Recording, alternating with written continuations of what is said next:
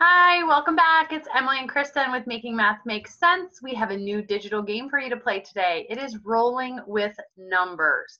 We have two other games that are very similar to this one, Rolling with Fractions and Rolling with Decimals, but this game involves whole numbers.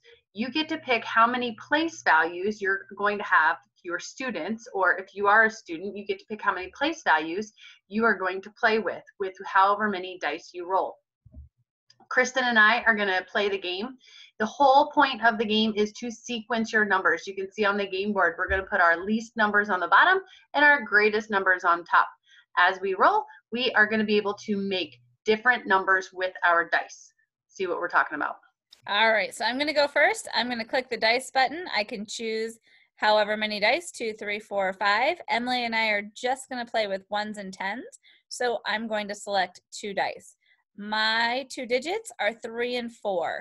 So I can make either 34 or 43. I'm going to make the number 43 and I'm going to choose to put it in this oval right here. Once you decide what number you want to make, you can put it anywhere along the path, but it has to stay in sequential order. So at the beginning, if you're the first player to go, if I had put 43 all the way down here at the bottom, that would have meant every number we made had to be greater than the number 43. That probably would not have been a very wise decision on my part. So that's why I went ahead and put it here. Have your kids also talk about what the range of numbers will be when you're working with um, however many digits. With us just working with two digits, keep in mind, we're only using six-sided dice. So we only have the digits one, two, three, four, five, and six that we're working with. Um, as Emily has told you in previous games, you can very easily change that up and you can do a link on here for your students to have an interactive 10-sided die that they're working with. That way they can have the digits 0 through 9. Um, if you're playing this at school and you have place value dice, then you can obviously have them actually rolling the real dice instead of the computer generated ones here. All right, Emily, it's your turn. I'm going to roll for you. And you have a two and a three.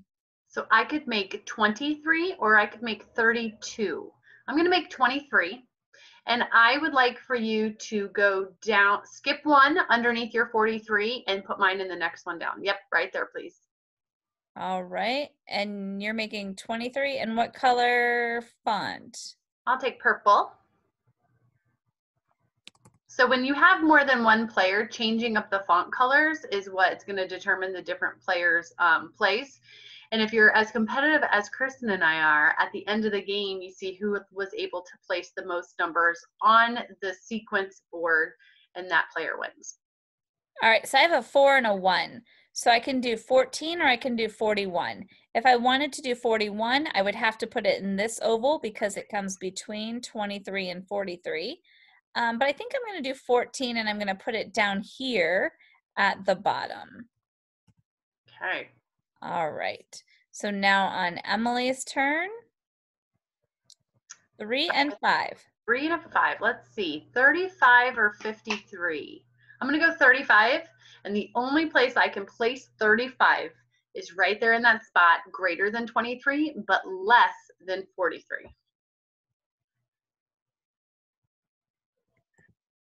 All right. On my turn, I have, oh, I have three and five. So I can't do 35 since Emily already placed that one. So I have to do 53. And I am going to put it, uh, actually, I'm going to put it up here at the top. I'm going to pull some strategy here. Put 53 up here at the top. And now I'm going to roll for Emily. Oh, and you have a four and a five. A 45 or a 54. So I'm going to do 45 and I'm going to go one above 43 in that circle, please. All right, oops, I need to change the font over here. 45. All right, let's see if I get it on my turn. I rolled a three and a four, so I could either do 34 or 43. I am blocked. I can't do either. Uh-oh. Now it's Emily's turn. She has lost a turn, and I have 36 or 63. I have also lost a turn. What are the only numbers that we can place on this board right now? We could make a 15, right? We could make a 16. We can't make 17, 18, or 19 because we don't have those digits on our dice, but we could make 21. We could make 22, 23. Oh, 23 is already on there. So we only have like five numbers that we can place on this board right now. And I have a 33, so 33. Mine doesn't fit on there. We have to see who's going to win. Emily, you have a 1 4. 14 or 41. On there, I cannot play. try. Oh, I have a 3 and a 5.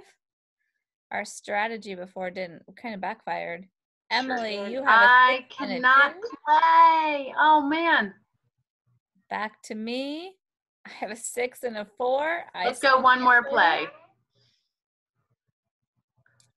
And you have a 3 and a 1. Ah, barely. All right. Well, you guys get the point of this game. You're going to roll however many dice you want your students to um, have that many place values, and they're going to order from least to greatest. We hope you enjoy this game. Let us know if you have any questions, comments, concerns. There are a lot of variations to this game using different place values, using different numbers of die. Maybe you still want um, your students to use two dice, but you have them multiplying the numbers instead of having those be the two digits, and that's the number that they put on the board. Uh, there's lots of different ways you can play. Leave us a comment and let us know what you ended up deciding on doing.